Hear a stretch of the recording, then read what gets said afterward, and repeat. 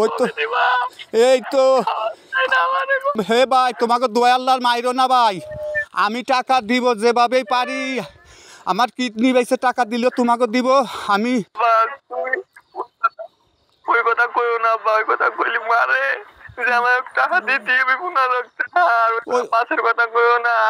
ফোনের ওপার থেকে কান্না জড়িত কণ্ঠে ভেসে আসছে। আব্বা, কবে টাকা দিবা? ওরা আমাকে খাবারও দেয় না। এপাশ থেকে বাবা বলছেন, ভাই আপনাকে দোহাই আল্লাহর, ওরে মাইরেন না। আমি যেভাবেই পারি টাকা দিব। কিডনি বেচা হইলেও টাকা দেব। ফোনের ওপাশ থেকে আবার সন্তান বলছে, আব্বা, টাকা দিতেই হবে, নইলে ওরা আমাকে মায়রা ফেলবে। এভাবেই ফরিদপুরের সালথা উপজেলার রামকান্তপুর গ্রামের শাকিল মিয়া নামে এক যুবককে লিবিয়ায় নিয়ে নির্যাতন করে মোবাইল ফোনে কল দিয়ে তার বাবা মাকে শুনিয়েছে একটি দালাল চক্র। শাকিল ওই গ্রামের টুটুল মিয়ার সন্তান। সরকারি রাজেন্দ্র কলেজে স্নাতকের শিক্ষার্থী ছিলেন তিনি। প্রতিদিনই তাকে অমানবিকভাবে নির্যাতন করে পরিবারের কাছে পনেরো লাখ টাকা দাবি করেছে চক্রটি। এজন্য সময়ও বেঁধে দেওয়া হয়েছে। টাকা না দিলে হত্যা করা হবে বলে জানানো হয়েছে। গত বারো দিন ধরে অমানবিকভাবে নির্যাতন করা হচ্ছে। এমনকি খাওয়া দাওয়াও বন্ধ করে রেখেছে চক্রটি। এক ভাই ও এক বোনের মধ্যে ছোট শাকিল। সন্তানের এমন পরিস্থিতিতে দিশেহারা হয়ে পড়েছেন হতদরিদ্র বাবা টুটুল মিয়া। গত জানুয়ারিতে একই গ্রামের মুকুল ঠাকুর নামে এক দালালের খপ্পরে পড়ে ইতালি যাওয়ার স্বপ্ন দেখে শাকিল মিয়া। পরে তার কথা মতো বারো লাখ টাকা দিয়ে গত চোদ্দ জানুয়ারি লিবিয়ায় পৌঁছায়। এরপরই তার উপর নেমে আসে নির্মম নির্যাতন। শাকিলের বাড়িতে গিয়ে দেখা যায়, মা রাবেয়া বেগমের আহাজারিতে কাঁদছে পাড়া প্রতিবেশী ও আত্মীয় স্বজনরাও। কাঁদতে কাঁদতে মাঝে মাঝে জ্ঞান হারিয়ে ফেলছেন মা। কান্না থামছে না বোন বৃষ্টি আক্তারের। সন্তানের জীবন রক্ষায় আকুতি, মিনতি ও কোনো কথাই কাজে লাগছে না মানব পাচারকারী চক্রের কাছে। তাদের দাবি, আরও পনেরো লাখ টাকা পাঠাতে হবে। অসহায় হয়ে পড়েছেন তার বাবা মা কয়েকদিন ধরে খাওয়া দাওয়াও বন্ধ হয়ে গেছে তাদের। আমার ছেলে যখন কান্দে তখন আমি সহ্য করা পারি না। প্রথম দিন কইছে, ও মারে আমি গাড়িতে উঠছি। আমার নিয়ে গেল মা।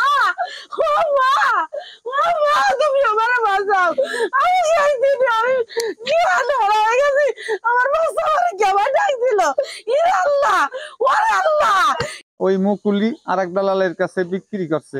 এখন টাকা চাই হলো পনেরো লাখ। সকালে মায়ের পিট করে ও ডাক শুনে আমার আমার মরে গেলাম বুঝবি এমন ভাবে ওরা পিটায় কই যে আমার কিডনি যদি কেউ কিনতো বেশি আমি তোরা ছাড়াই আনতাম। আমারে ডাক দিছে প্রথম বৃষ্টি ওরে আমার মানে মাইরে লাইলো। আমারে খাবার দেয় না, আমার নগের মাথায় একটু পানি দেয়, কোন রকমের বাসায় রাখছে। আমারে কোনো খাবার দেয় না, টা দিয়ে মানে খাবার দিবে নে মানে মাইরে শেষ করে দিল।